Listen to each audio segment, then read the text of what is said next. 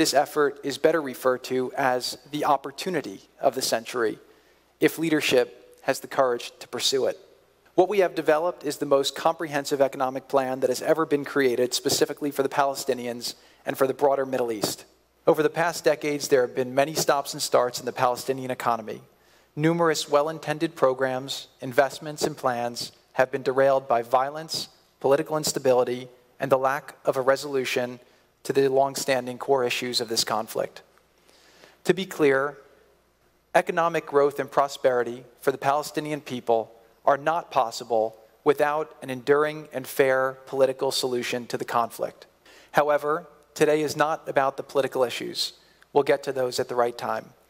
We can turn this region from a victim of past conflicts into a model for commerce advancement throughout the world. For a moment, imagine a new reality in the Middle East. Imagine a bustling commercial and tourist center in Gaza and the West Bank where international businesses come together and thrive.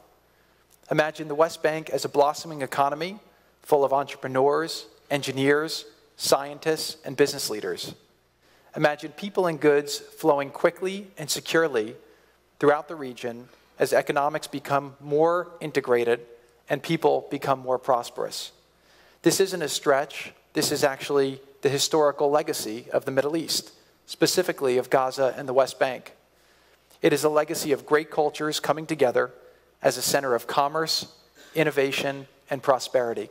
Should we find reason to stay with the status quo, a broken system that, stay, that favors few at the expense of many, or should we push together to find new solutions and fight for a brighter future filled with opportunity and hope? By working together, we can reach our ultimate goal, which is a real peace that leads to prosperity. Thank you.